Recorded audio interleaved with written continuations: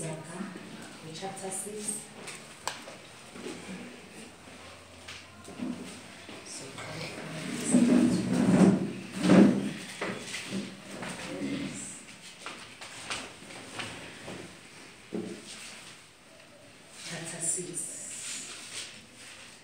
ehe nabazalwane ngiyabingelela egameni likajesu mkhulu usobana ngiyelela ingoli lesi ingelosi ekhaya ndingasebenziseke umoncini bazalwane isithando sam mnganam omkhulu um la ngiphelele khona ke ma ungifuna ngithole ebukhona umnkanoncini bingelele ingelosizala ekhaya ubaba umfundisi ugasa nomama ngibingelela ugogo egameni likajesu nsika halleluya ngiyambingelela-ke bazalwane bonke egameni likajesu halleluya ehe ngiwomncinyane ukuma phambi kwenu bafethu kodwa-ke asenzeni lokho okufunwa yinkosi.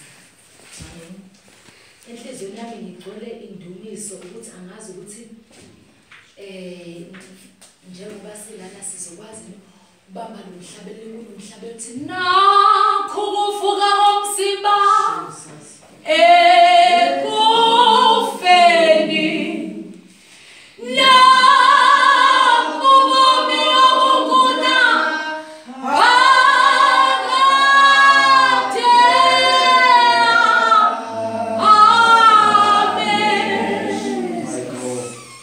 my God. lapho-ke bazalwane sisuke sesimhaya. Jesus. uhlule uhlulile ukuhambisa indumiso.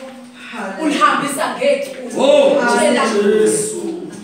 uthi lo wabhala le ndumiso le noma lo mbhedesho uthi unguvuka uthi ungubomi bongunaphakade uthi uma eqhubeka athi mbongeni nike ngihubele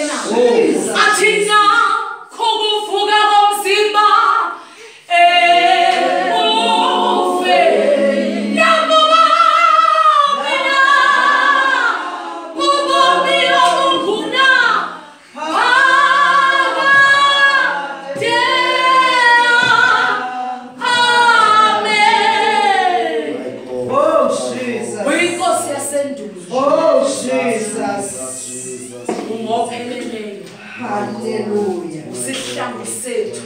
Haleluya.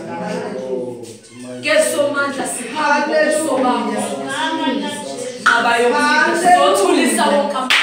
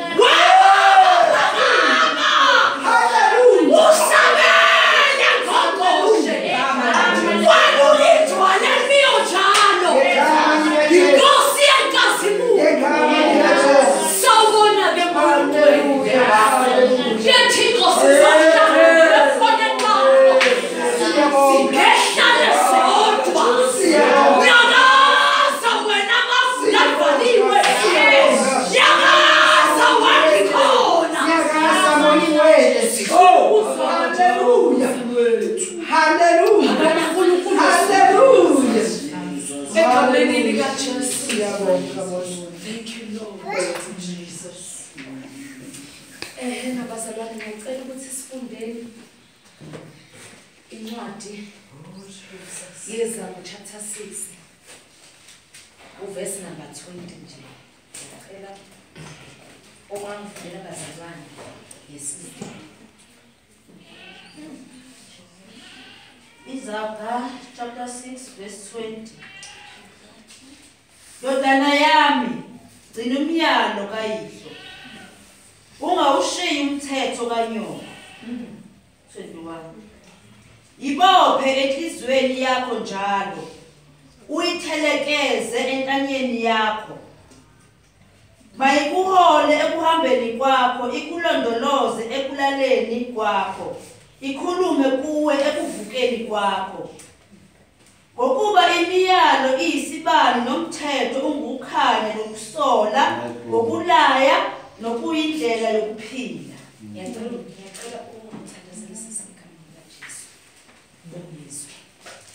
babemini kajesu wasenazaretha ngalisi lapho sawile uyifonile siyabulela ngalo baba wethu ongcwele ukhuluma ngalo nkulunkulu wethu nangomntwana wakho silalele yiwe namandla okukhuluma ngaye egameni likajesu wasenazaretha nguthank in jesus name. Eh sizoya bazalwane ezweni nizoqhubana ifunde emakhaya.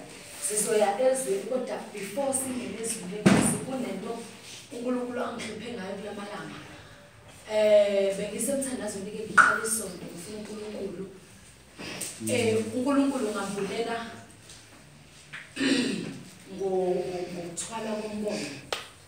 Uthi ubaba uma ikhuluma nami uthi abantu abathwele umbono bahlishuma kuqala uthi-ke nina elungu uthi uma ngabe ibeka mamungasa le ndaba uthi um umuntu wesifazane olilayo noma umuntu wesifazane ongumprofethi isibeletho sakhe esifethayo ngendlela yokuthi izwi elivela kumuntu lihlala kuyena. Lelo lizwi uyaliphendula libe into ephelayo Hallelujah. uthi umoya ongcwele uma ekhuluma ngakuthi thina sithwele umbono. Amen. njengoba besuke bekhuluma kuthina befundisi noma ngabe yini umbono abawuveza kuthina thina siwuthwele. Hallelujah. lowo mbono siwuprotector ngisho sidlule emlilweni ngisho My sidlule God. Hallelujah. My God. uthi omunye uma ekhuluma athi kunes- kunenkukhu eyayisehlane uthi uma kushiswa leli hlane le nkukhu ihleli namachwane My God. uthi iyawangamela amachwane kwasha yona Jesus. yaba bathi bayisusa My God. le nkukhu bavela amachwane agade umbono ngizothi bazalwane ngizothi thina esithwele esithwele umbono bafethu thina Hallelujah. thina esihleshulayo thina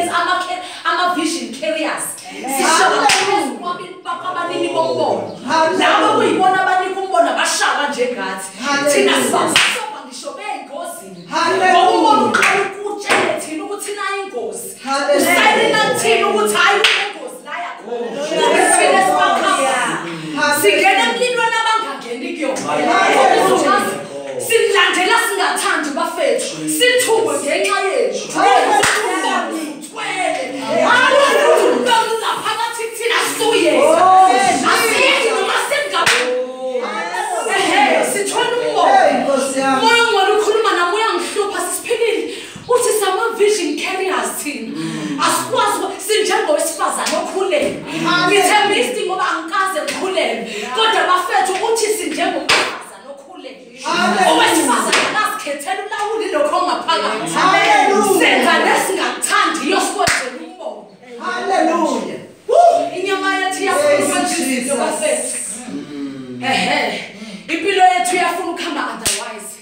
kunento Jesus. besike siyithathe every day siyithathe nje every day uma sivuka sithi siyasithatha ibubule lethu ngaphakathi thawuswini Ha.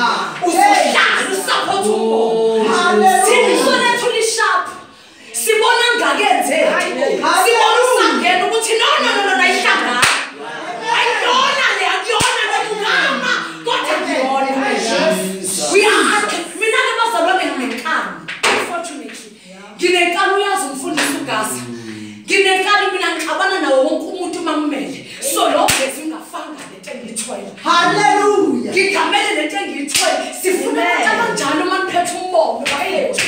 Hey,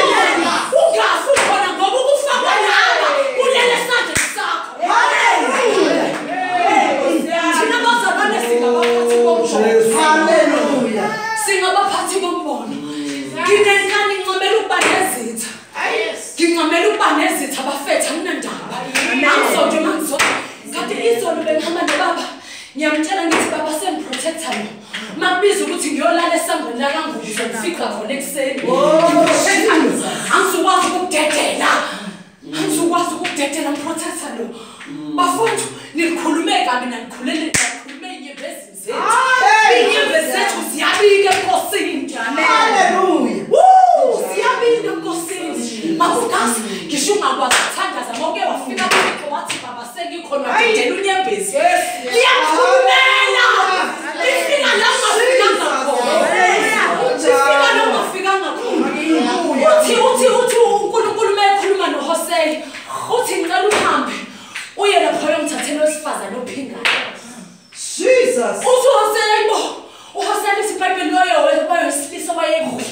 konke kulelo lizwe uyena owemsaba unkulunkulu.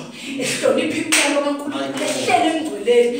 Kodwa uthi unkulunkulu ngifuna uthathe owesifazane ophingayo. Uthi uHosea kodwa thixo ungilani lithi iBhayibheli ahambe aye lapha abadayisa khona imizimba amthathe. Lithi iBhayibheli mayefika naye endlini amgezi amlungise ambekele endlini athi umfazi wami amshade thukwa abantu. Athi kodwa ngoba kusho uthixo hlala la lithi iBhayibheli uthe behleli isonto lokuqala buyela khona. La kade ethathwe khona lithi iBhayibheli nayibuyela khona bahamba wathi wathi baba usehambile wathi buyela kuyena. Wahamba womlanda futhi. Wamfica kuyena namfica khona afika amthatha wathi ngizolanda wena mfazi wami. Lithi iBhayibheli wabuyela naye emuva uthe mayebuyela naye emuva. Wahlala naye uthe mayehlala naye futhi waphinde wahamba wophinga esebuyele khona waphinde wathi unkulunkulu shona khona. Lithi iBhayibheli waqhubeka kaze kwayingathathu. Kuthe kwesithathu wathi baba ngikhathele. Wathi ninjani esandleni sami?